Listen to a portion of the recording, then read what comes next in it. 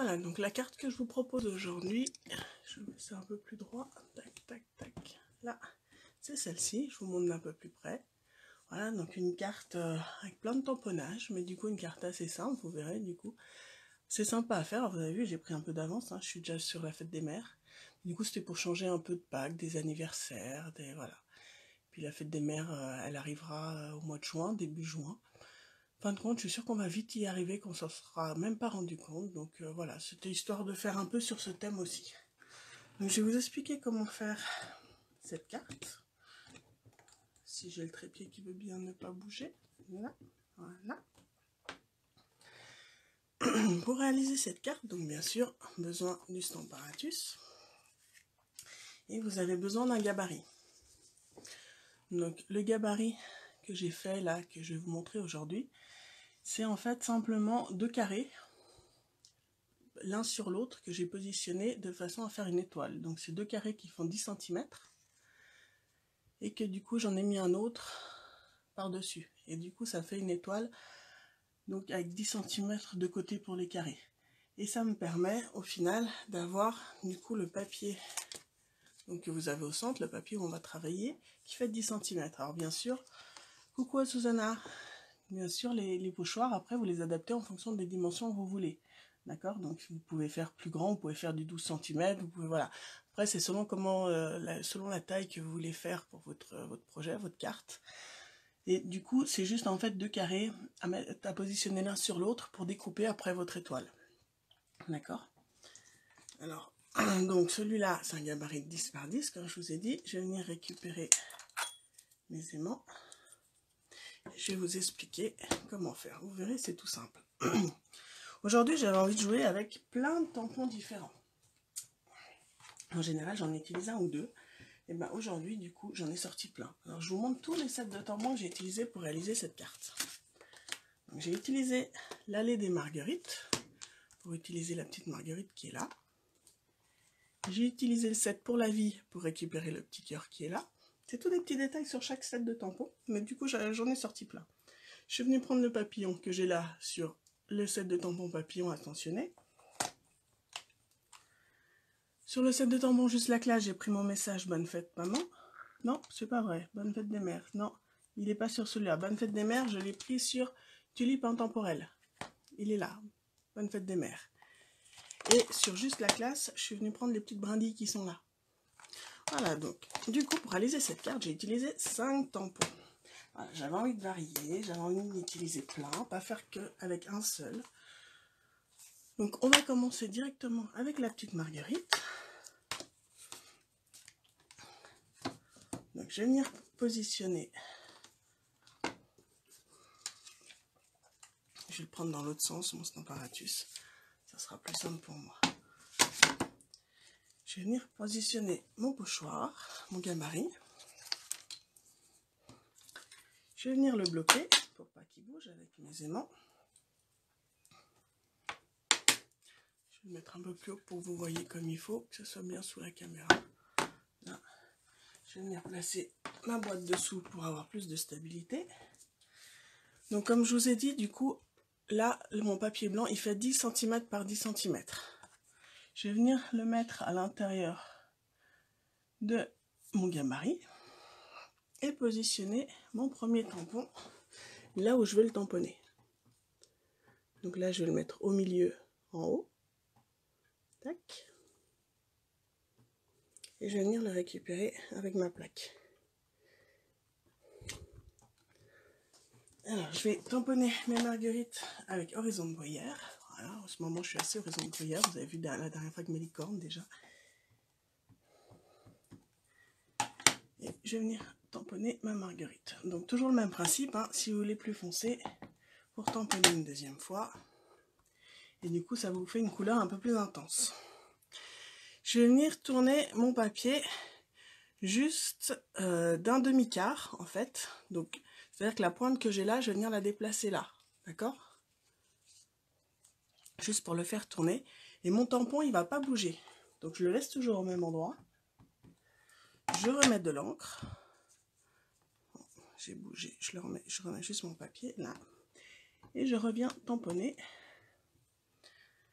sur mon papier. Et je fais ça en fait tout le long. Donc je tourne à chaque fois d'un demi-quart. Je réentre. Celle-ci, je vais la faire plus foncée. Je vais en faire une sur deux qui sont un peu plus foncées pour mettre du relief sur ma couronne. Voilà, je tourne. Donc, vous voyez, du coup, le fait d'avoir le gabarit, ça va me permettre de faire une couronne de tamponnage sans du coup que ça soit compliqué. C'est tout simple. Et ça, vous, ça va vous faire une couronne toute régulière.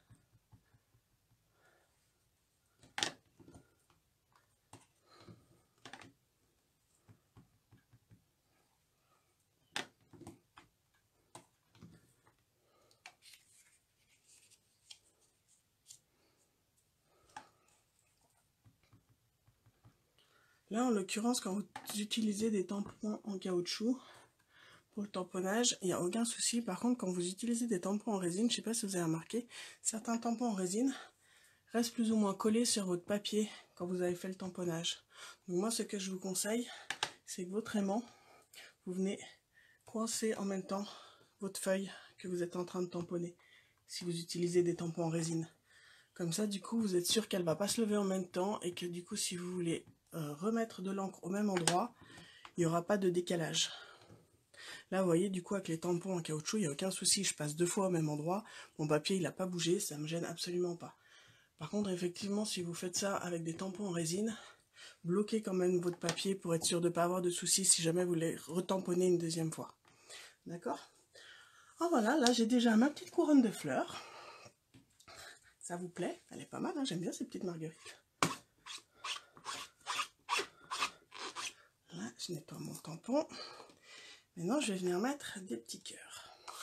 Donc, sur le même principe, où est-ce qu'ils sont mes petits cœurs? Ils sont là. Sur le même principe, je vais venir positionner le petit cœur là où je veux le tamponner. Donc, au milieu de mes marguerites. Je vais venir le récupérer avec ma plaque. Cette fois, je change de couleur. Je suis venue prendre l'encre Flamand Fougueux. Et je vais venir tamponner mon petit cœur. Et là, de nouveau, pareil, je vais venir tourner d'un demi-quart à chaque fois pour pouvoir positionner mes cœurs à chaque fois entre mes marguerites. Comme ça, du coup, ça sera régulier, ça sera exactement au même endroit à chaque fois.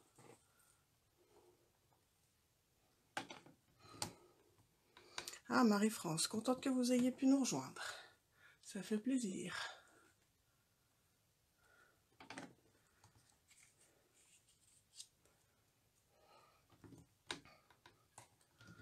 Là. Vous avez peut-être vu, du coup, sur ma page, je vous ai annoncé que demain soir, il y aurait la liste des fins de série qui allait sortir à 21h. Et je vous ai aussi annoncé aujourd'hui qu'effectivement, le papier design des Incolor 2018-2020 était déjà en rupture définitive.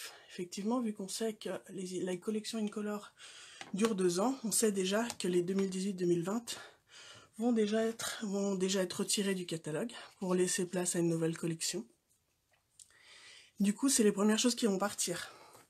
Donc tout le monde est déjà en train de faire les réserves de cette collection, que ce soit au niveau des recherches d'encre, des papiers unis, euh, des rubans, etc. Alors forcément, il n'y a déjà plus le papier design, mais il vous reste encore pas mal de choses. Donc si vous souhaitez euh, faire le plein, faire les réserves, pensez-y avant que ça soit trop tard. Parce qu'en général, une fois que la liste est sortie, quelques minutes après, les incolores, il n'y en a déjà plus. Hein. Je vous dis franchement, tous les ans, tous les ans c'est la même chose, donc je sais comment ça se passe. Chaque fois, ça part très très vite. Voilà. Donc là, du coup, j'ai rajouté mes petits cœurs. Donc cette fin de série, euh, je finis quand même. Hein. Du coup, je vais vous la publier sur ma page demain soir. Ne tardez pas s'il y a quelque chose qui vous fait plaisir, si vous avez des coups de cœur que vous n'avez pas encore qui vont disparaître, parce que les fins de série partent très vite. Je ne peux pas vous dire s'il y aura des promos ou pas, j'en ai absolument aucune idée. N'hésitez pas à aller directement sur ma boutique en ligne pour pouvoir voir du coup ce qu'il y a et vous faire plaisir du coup avec les fins de série. Attendez pas, et euh, aller directement. Donc demain soir à 21h, vous avez la liste qui sera sortie. Ensuite, pour continuer sur la carte, donc mon petit cœur, on est bon. Je vais l'enlever. Et euh, donc pour le stamparatus, donc vous avez compris le principe, d'accord? Pour faire les couronnes, on tourne à chaque fois d'un demi-quart. Voilà. Je vais vous montrer la différence du coup par rapport à cette technique si on utilise un bloc. Donc pour ça, je vais venir chercher mes fameuses petites bandilles.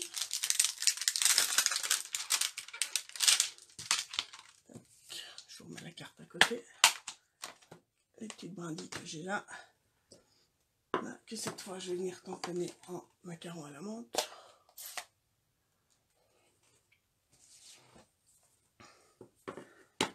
Et voilà. Alors du coup, mes petites brindilles, je vais venir les tamponner tout autour de mes cœurs.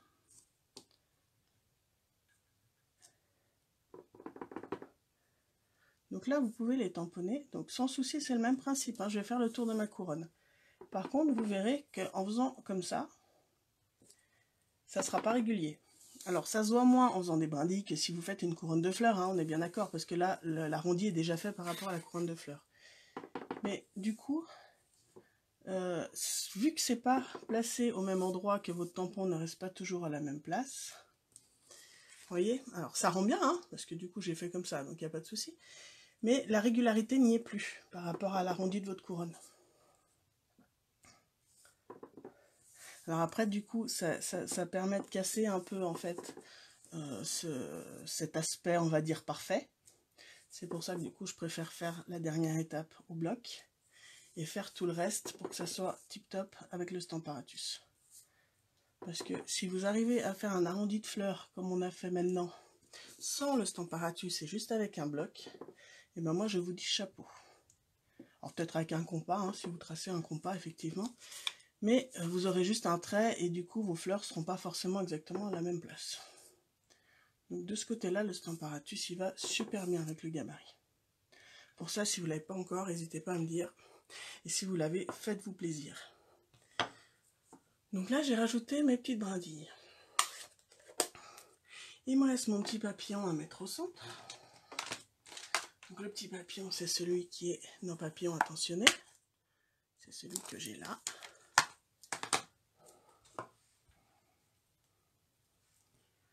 Celui-là, je vais venir le tamponner aussi en flamant fougueux pour rappeler mes petits cœurs.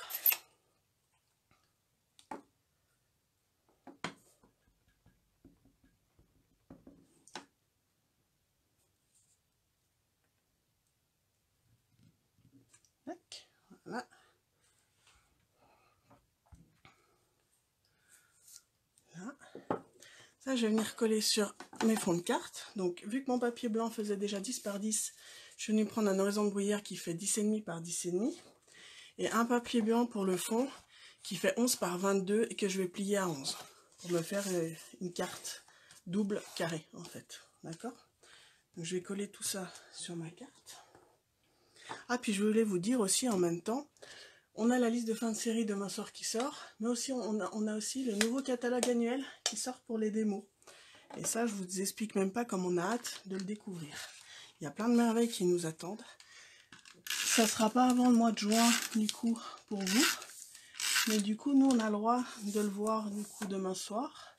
On a le droit de faire une précommande, du coup, derrière. Donc, si jamais vous voulez en profiter aussi pour découvrir ce nouveau catalogue, vous faire plaisir avec des nouveaux produits, vous pouvez tout à fait rejoindre mon équipe en vous inscrivant. Comme ça, vous, profiterez de tous les avantages, euh, aussi bien des précommandes, euh, des réductions, etc. Vous allez rejoindre une super équipe. Autant vous dire que moi, du coup, je prends mon rôle de marraine à cœur, autant que quand je prends mon rôle de démo ou que je fais mes ateliers. Je m'éclate dans tous les domaines, dans tous les à tous les niveaux dans cette activité. Donc du coup, si vous voulez nous rejoindre, faites-vous plaisir. En plus, du coup, dans votre kit de démarrage, euh, vous pourrez choisir des, produits qui sont dans le nouveau catalogue, donc pour les avoir en avant-première. Donc vraiment, c'est que du bénéf. Et le kit est toujours du coup à 129 euros pour 175 euros de produits au choix. Donc franchement, c'est cool. Allez, on attaque le message. Donc n'hésitez pas, hein, si jamais vous pouvez m'envoyer un message, on peut regarder ça ensemble. Mais franchement, pouvoir avoir les produits avant, se faire plaisir dans un kit de démarrage avec des produits du coup en promo, c'est tout bénef. Alors, mon petit message, je vais venir le tamponner avec la mémento. Isabelle, c'est le moment de te faire plaisir, c'est ce que je suis en train de dire. On a la chance, effectivement, tant que mots, d'avoir des avantages. Et moi, je suis prête à les partager avec vous, tous ces avantages. Donc, euh, franchement, on s'éclaterait tous ensemble. C'est tellement une aventure super. Je suis là pour vous accompagner dans cette aventure et tout. Ça sera vraiment top, quoi. Si vous hésitez, franchement, n'hésitez plus. Je suis sûre que du coup, qu'on partage cette aventure ensemble, ça serait génial. Puis avec la sortie d'un nouveau catalogue, pouvoir avoir les, avoir les produits en précommande, c'est top. Alors, je vais venir couper mon message.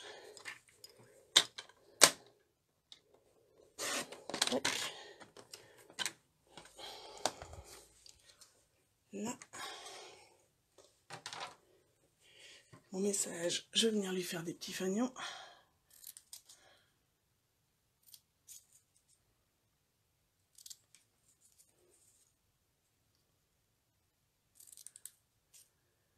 Il y en a certaines d'entre vous qui ont déjà pensé à tenter cette aventure et qui hésitent. Dites-moi, pour profiter de tous les avantages qu'il y a. Des moins 20%, d'avoir un emploi du temps au choix, de pouvoir travailler depuis la maison, de rencontrer plein de monde, de créer des super amitiés, rencontres. Bref, le top. D'avoir des produits de qualité à moindre prix.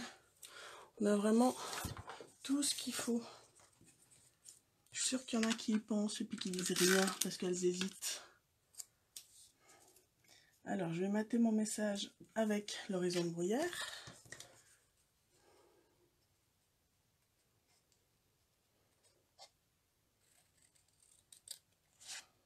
Ah, Frédéric déménage. Rejoins-nous. Isabelle, c'est pas un souci, ça. Ça, on, au départ, quand je me suis lancée, je connaissais personne. Tu dis que tu connais personne qui scrape. Et moi, quand j'ai commencé, ça faisait des années que je scrapais toute seule et je connaissais absolument personne. J'ai commencé, personne ne voulait venir non plus aux ateliers. Au départ, je me suis fait plaisir pour les moins 20% sur tous les produits, sur l'offre du kit de démarrage. Et petit à petit, il y a plein d'astuces pour réussir à trouver du monde. Et du coup, je suis là pour t'aider si jamais. Donc franchement, si tu veux profiter, Hésite pas, et puis du coup, on fera tout ce chemin ensemble. Il n'y a aucun souci, je suis là pour ça. Alors, ce petit message, on va le mettre avec du relief en 3D. Si je retrouve mes pastilles, là, pour mettre un peu de relief quand même sur la carte.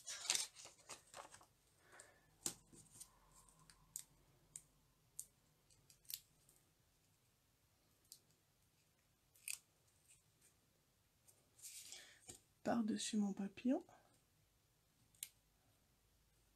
Là. Il me reste des petits strass à mettre quand même. Vous savez depuis le temps que j'adore ces strass. Donc avec l'outil touche à tout, hein, plus pratique à utiliser. Je vais venir mettre les gros pour qu'ils ressortent bien en bas de ma carte. Voilà, je suis pas en face, du coup je les ai pas mis droit. Voilà, tac. Alors, qu'est-ce que vous en dites? Ça vous plaît? Vous voyez que c'est pas bien compliqué avec le Stamparatus et un gabarit, du coup, on a des cartes super originales qui rendent super bien et franchement pas difficiles à faire.